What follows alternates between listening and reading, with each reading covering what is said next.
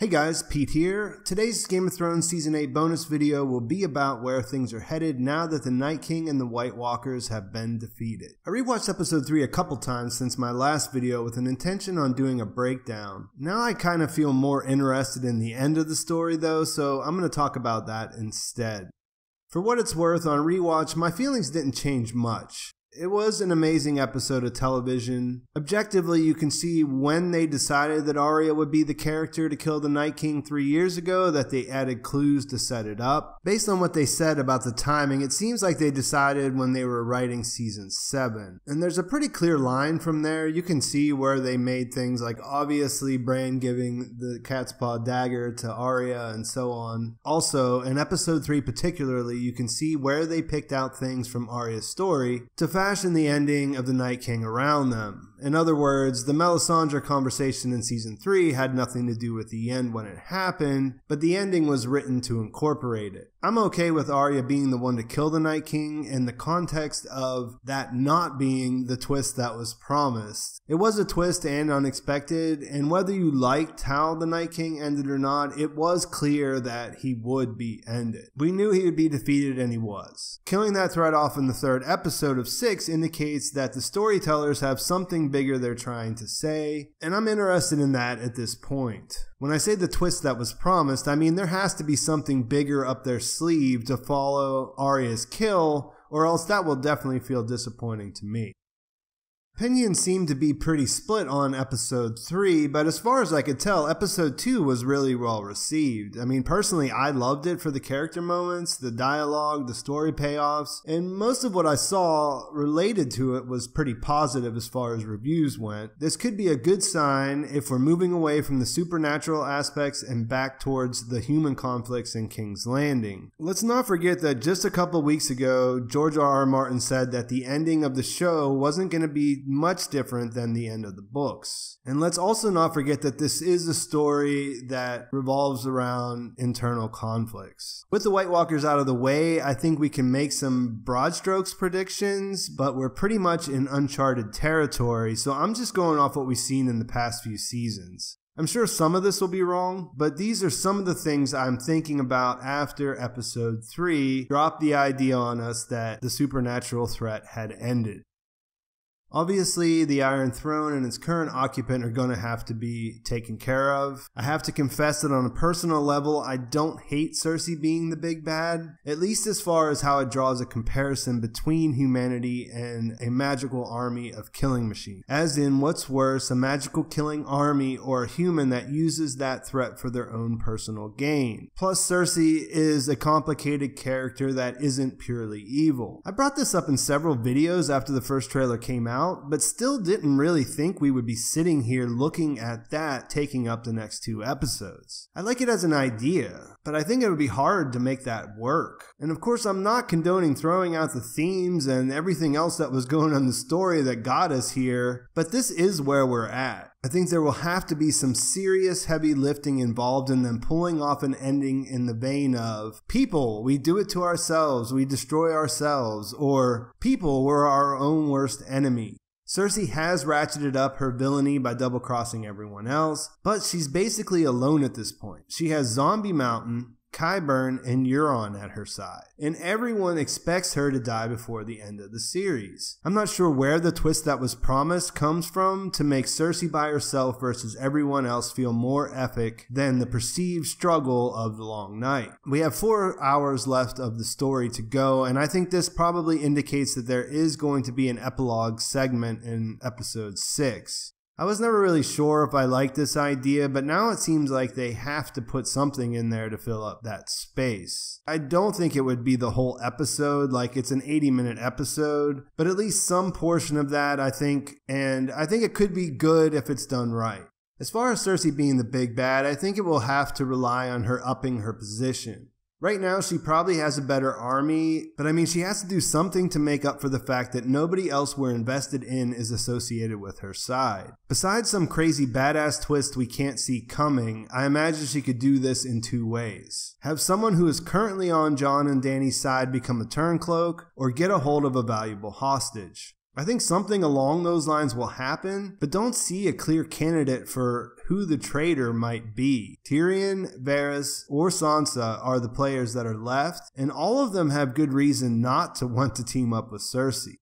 I do expect that she'll die since the villain can't win, and I think that Daenerys will as well. That's been my prediction since before the season started, and nothing's really changed that so far. It's possible that Jon could go out instead of Dany, but I don't see them both living. I lean towards Daenerys because even though I like her story, I think it's problematic that her claim is her birthright and her dragons. Unless, like, Jon and the dragons die and she ends up being the queen of the ashes I think her story more likely ends in sacrifice than her being the last one standing. I think Jon will end up being the only one with a claim by default. And I do think it would be a terrible ending if he were the ruler when it fades to black. So I think it's more likely that he would walk away from the opportunity to become the king of the seven kingdoms, and this will open up the door to a different form of government. With only three episodes left, it's hard to see the political intrigue getting too complicated. I have a feeling that most of the story that isn't dedicated to getting rid of Cersei will involve Jon and Daenerys' struggles. This doesn't seem like it's enough in and of itself, since it's hard to imagine them actually turning on each other. I think they will end up together, whatever it is, they'll get that worked out, but then I think like one of them has to go. I do also think that it's been heavily foreshadowed in the show that she would become pregnant still think it's a likely part of the story, but I really don't know how that would play out. When you think about things like if Arya was the best candidate to kill the Night King based on her adventures and her training, there's a pretty reasonable conclusion that Sansa is the best character left to actually rule based on her story and what we've seen. This isn't a new idea. It's been out there for quite a while, and I do think that she's been prepared to do that, but I don't really like the idea of anybody sitting on the Iron Throne at the end. So I hope that her role will be in setting up the government rather than ruling as some kind of a monarch.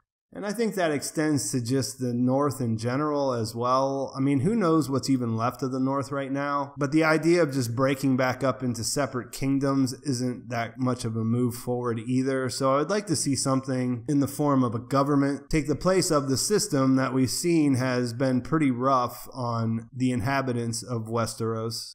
There are two other Lannisters who are surviving. I'm really wondering why you would keep Jaime alive through that battle if it isn't to kill Cersei. So I'm presuming that that is his purpose. I could be wrong, and that's fine, but it seems like he should have died in the battle if not, if he didn't have a purpose as far as the end game. I don't really see him turning back to Cersei. I mean, he could be the turncloak, but that would seem a bit out of left field based on what we've seen transpire between him and Brienne since he's been in the north. I don't think Arya would be the one who would kill Cersei at this point because like she killed the Night King. It's not great as far as a reason other than she can't kill everybody, can she? I mean, it's not a story about Arya. She's just one of the characters in the ensemble. Bran is an absolute wild card because his story could just be over. Like his story could be complete. There is a possibility that there's more to the White Walker aspect of the story, but I doubt there would be a full return of that threat in the little time that we have left. I think it's more likely that we get an indication that they could return rather than an actual return. And I'm not saying I like this. I'm, I'm not saying that I necessarily like any of this. I'm hoping that there's more to Bran's story and there's more to what's going on with the supernatural aspect of things. But I don't think we can say that that's definitely going to happen based on how much time's left and where we're at. It seems completely odd. Like, if nothing else, it seems completely odd that there's no balance balance.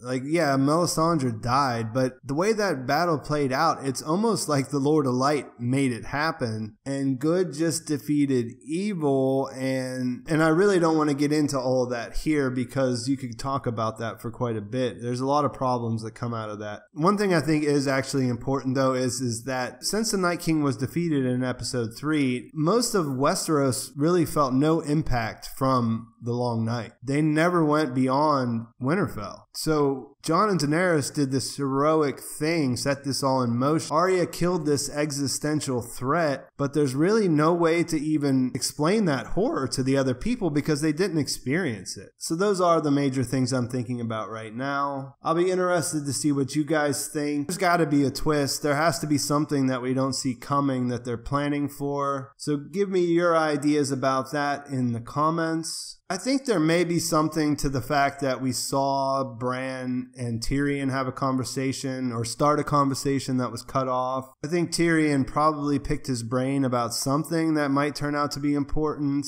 My initial reaction was is that through that he would find out about who Jon actually is because Jon isn't really going around telling people about it. But I don't know that that really changes what Tyrion would be up to. Like I don't know that that would make him change allegiance from Daenerys. So he might have picked up some information that he might try to use and that might backfire and cause problems. I mean, a lot of people have been talking about Tyrion betraying Daenerys. It seems unlikely on the surface, but then at the same time, one of these major characters has to have some kind of dramatic shift if these last couple episodes are going to be full of something that's going to keep us interested. So I'm going to end it there. Let me know what you think. Let me know what you're thinking about, where you think the story's going. What do you think the big twist will be? The twist that was promised. Do you think that it's something that's already out there in the world of theories, or do you think there's something that's really unexpected coming? Please like the video if you enjoyed it. Please subscribe to my channel if you haven't already and follow along with the rest of the season. Thanks for watching, guys. I will talk to you soon.